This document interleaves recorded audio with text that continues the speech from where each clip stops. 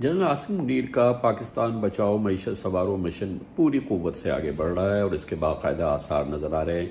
आज एक बहुत ही ज़बरदस्त एक, हमने मंजर देखा। वो कराची का कोर्ट, कोर हेडक्वार्टर है, जहाँ पर पाकिस्तान के चीदा चीदा बिजनेसमैन जमा किए गए और उनको ब्रीफ किया गया। एस आई एफ़ सी के हवाले से ये वो इदारा है जो कि आर्मी ने कायम किया है। स्पेशल इन्वेस्टमेंट फैसिलिटेशन काउंसिल जिसका मतलब ये है कि तमाम सरमाकारों को one window one stop policy तसलसल और रेड टेप फ्री तसलसल फराहम किया जाए सरमाकारी के हवाले से। और इस सिलसिले में आज ये दरवाजे पाकिस्तान के लिए खोले गए। और इस, ये एक बहुत ही ज़बरदस्त मंजर था, क्योंकि फौज के एक लेफ्टिनेंट जनरल बावर्दी, मेजर जनरल बावर्दी जनरल और ब्रिगेडियर ने इन इन पाकिस्तानी बिजनेसमैन को, जो कराची के चीता चीता बिजनेसमैन थे, इस एस आई एफ़ सी के हवाले से बताया।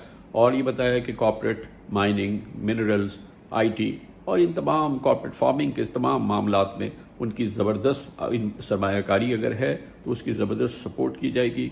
हर तरह की रेड टेप से खाली उनको माहौल फराम किया जाएगा पॉलिसी तसलसल मिलेगी और एक विंडो वन स्टॉप के ज़रिए उनको सहूलतें फराहम की जाएँगी। और ये बहुत बड़ी डेवलपमेंट थी जो आज हमने देखी। इसी दौरान हम ये देख रहे हैं कि रुपए की कदर में बेहतरी आ रही है और वो सिर्फ़ जनरल नासिफ मुनीर की इस तकरीर के बाद हमने देखा।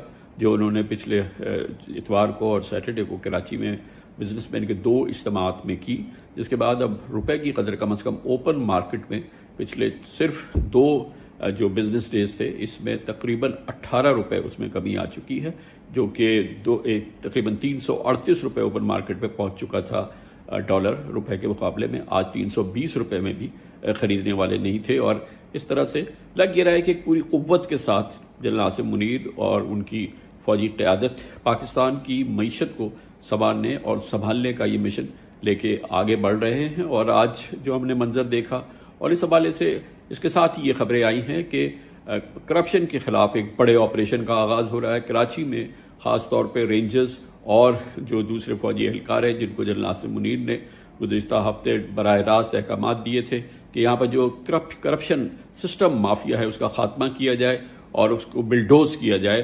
लग ये रहा था कि उसके आज आसार शुरू हो रहे हैं। और इसी तरह से दूसरे मामला में भी हम ये देख रहे हैं कि पूरी कुत से इस वक्त फौजी लीडरशिप की पहली अव्वलीन कुल्ली तरजीह यह है कि मीशत को बहाल किया जाए।